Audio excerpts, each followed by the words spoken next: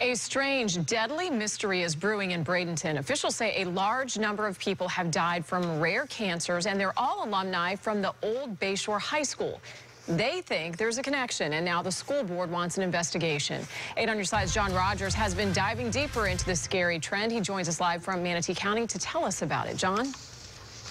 Good evening, Jen. We're talking about, of course, the old Bayshore High School. They used to sit on this plot of land here in Bradenton near the current Bayshore High School. Now, alumni from this old school tell me that they think contaminated water may have been the cause of this. This gets on to college now. Betty Lou Rockline beams when she talks about her daughter, Denise. She lived life to the fullest with a contagious smile. She crammed everything into every minute of her day, so she was a very happy person. But Denise was masking a terrible pain. In her adult years, Denise developed three different aggressive forms of cancer, and her daughter Shannon was born with a rare brain defect. The two died only months apart. Denise was 46 and Shannon was 15. Her family suspects the culprit may have been contaminated water at Denise's alma mater, Bayshore High School. We're willing to say that it's possible, but more investigation needs to be done.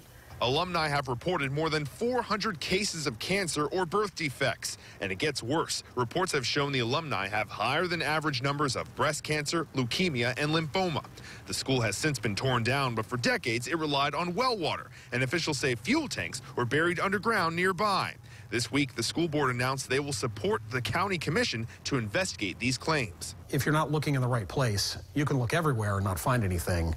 Um, so, you know, perhaps uh, there's there's other places we can look or there's other tests that can be done. Rockline wants this mystery solved so no one else has to endure her pain.